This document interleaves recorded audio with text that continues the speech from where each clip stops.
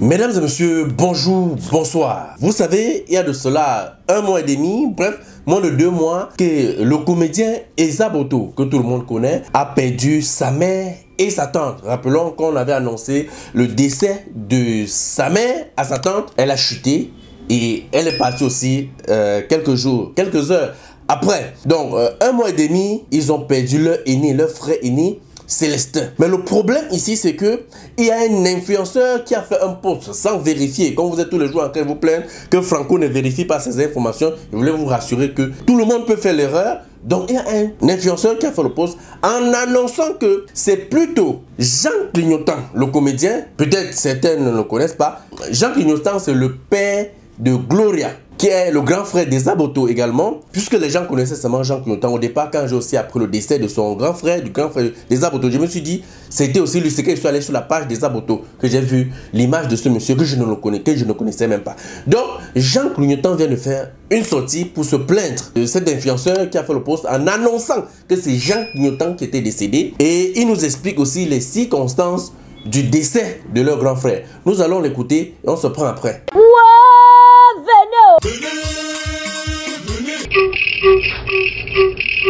Je viens ici décliner une situation alors qui me cœur. J'ai le cœur meurtri parce que je viens de perdre mon grand frère aîné, Célestin, qui fait actuellement le tour des réseaux sociaux. Je reçois des coups de fil par-ci par-là. Certaines personnes euh, appellent ou me disent qu'ils ont appris que je suis décédé. Et c'est un genre même, la façon d'appeler, ça dit, ils appellent, ils se posent des questions, est-ce que c'est toi qui as l'appareil et tout et tout, juste parce qu'ils ont appris que je suis décédé. Donc, euh, je voudrais vous rassurer que je ne suis pas décédé, mais c'est mon grand frère Célestin qui a rendu l'âme, qui est mort. Et je profiterai de cela pour dire à un, influenceur, Mano Sabi, avant de publier certaines publications, prends le temps de t'informer. Parce que certains influenceurs, dès qu'ils apprennent une information, ils ne prennent pas le temps de vérifier, mais ils balancent ça dans les réseaux sociaux. Il y a vu un post où dit, tu as dit encore un artiste comédien qui a rendu l'âme. RIP, Jean Clignotant.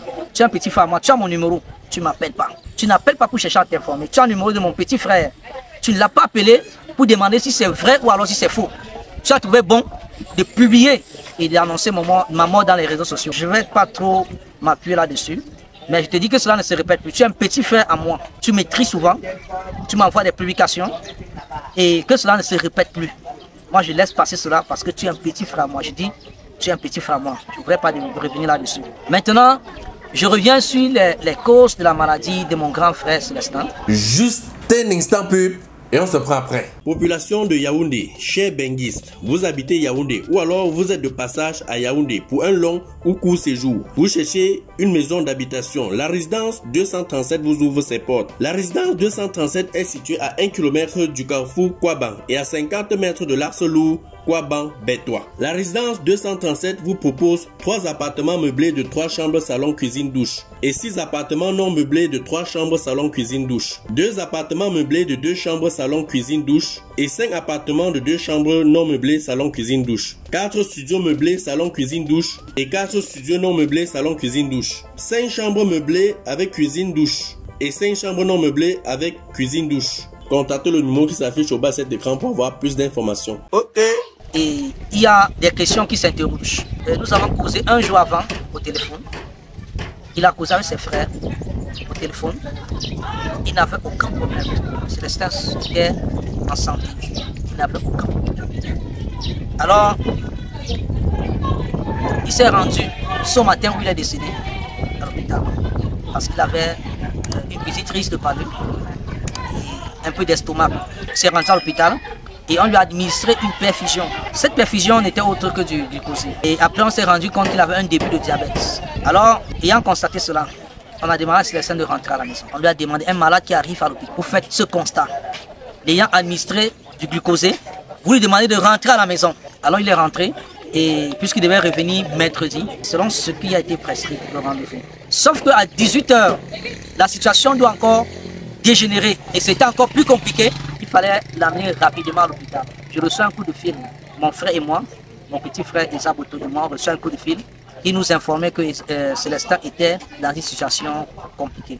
Et son carnet médical du matin prescrit qu'il avait un début de diabète. Sans plus tarder, nous avons demandé à sa femme, son épouse et à notre petit frère, nos petits frères qui étaient à l'instant sur place, de se diriger plutôt chez un spécialiste en diabète. Il était plutôt préférable il devait voir comment est-ce qu'il pouvait intervenir. Parce qu'à l'instant, nous on soupçonnait que bon, peut-être c'est un peu le diabète qui était en train de, vouloir, soit peut-être, euh, je ne sais pas, qui était en train de remettre dans cette situation. Ils sont dirigés donc chez le spécialiste. Et quand le spécialiste arrive aux environs de 20 h il dit non, le problème n'est pas le diabète. Je vous conseille d'aller rapidement à la Kemtini. C'est comme ça que Célestin est transféré, le plus tôt et rapidement à l'hôpital à Kentini. J'appelle rapidement un ami qui est là-bas et lui dit s'il te plaît, fais des efforts, voilà Célestin qui arrive, ça ne va pas. Il me dit d'accord, actuellement euh, il est un peu occupé, il est dans un bloc opératoire. Et aussitôt il doit intervenir. Dès qu'ils seront là, il verra ce qu'il peut faire. Célestin arrive à l'hôpital, il est conduit aux urgences. Et à 23h il rend l'âme. La question maintenant qu'on se pose, la famille durement éprouvée, ses amis proches, est-ce une erreur médicale? Si c'est une erreur médicale, moi je pense qu'ils sont nombreux ceux-là qui meurent dans les hôpitaux, juste parce que l'être humain n'est pas considéré. Certains médecins encore, ou alors quand je dis médecin, c'est le corps médical, que ce soit des infirmiers, que ce soit ceux-là qui opèrent dans des quartiers et qui n'ont pas la déontologie du corps médical. Vous arrivez dans certains hôpitaux, où c'est des stagiaires, des enfants qui sortent dans des écoles, qui prennent soin de vous. Et ceux-là qui ont été déjà formés et qui sont sur le terrain, ils envoient ces enfants. On cherche la, veine sur vous dix fois sans trouver. Et c'est à peine que l'infirmier arrive au secours. Ou alors, c'est encore plus tard que le médecin peut arriver à intervenir. Moi, je pense que c'est pas normal. Beaucoup sont là. Beaucoup ont subi comme Célestin. Il faudrait que cela s'arrête. Je vais revenir avec tous les éléments samedi soir. Samedi soir. Et ensemble, nous allons réfléchir pour voir si Célestin a été décédé d'une négligence médicale ou bien d'une erreur médicale. Ou alors, Célestin a été décédé d'un poison, on ne sait pas. Nous allons ensemble réfléchir avec tous ces éléments. Ça fait à peine un mois et demi que nous avons enterré notre maman. Ma mère est décédée aux États-Unis. Lorsque sa petite sœur a pris la nouvelle, mauvaise nouvelle, elle a chuté, elle s'est écoulée, on l'a transportée, on l'a transportée pour l'hôpital. Arrivée à l'hôpital, elle aussi, elle est décédée. On avait deux corps sur la main qu'il fallait enterrer. Et avec tous les efforts, cela, on les a, on les a enterrés.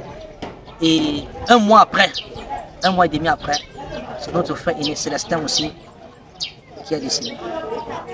Donc vous pouvez comprendre à quel point on est touché, à quel point la famille est abattue. Et je dirais à certains influenceurs qu'avant de faire une publication, prenez le temps. Parce que vous touchez la sensibilité de certaines familles et vous touchez également la sensibilité de certains gens qui nous écoutent, certaines personnes qui nous sont trop. Parce que le cœur de certaines personnes ont failli s'arrêter lorsqu'ils ont appris que le frère des aboutis de celui Mes sincères condoléances euh, à la famille des Aboto, Jean Quignotan, voilà les deux artistes que je connais moi particulièrement. Et que l'âme euh, de notre frère Célestin repose en paix. Vous savez pourquoi j'ai fait euh, euh, ce post, pour la raison pour laquelle j'ai publié cette vidéo. Je voudrais attirer déjà l'attention euh, des populations ou bien des citoyens. Chers frères, quand vous arrivez à l'hôpital, exigez toujours les examens. Ne prenez plus le risque de prendre les perfusions comme ça. Exigez toujours qu'on vous prélève, comme test, qu'on prend le taux de votre glycémie pour savoir si vous avez un début de diabète. Je dis ça parce que ma mère, ma mère est décédée toujours à cause de cette erreur-là, qu'elle arrivait à l'hôpital avec un palu, on a directement euh, placé le glucosé sur elle. Pourtant, elle avait un début de diabète. On n'avait pas contrôlé. Et beaucoup meurent comme ça. Ne faites plus cette erreur. Et ce que je vais dire à mes frères médecins, je ne sais pas s'ils vont même parler, je, je suis même qui pour les parler même. Je dis quand même, vraiment, soyez humains. C'est tout ce que je peux vous dire. Parce que c'est que nous on vit dans nos hôpitaux, ici au pays.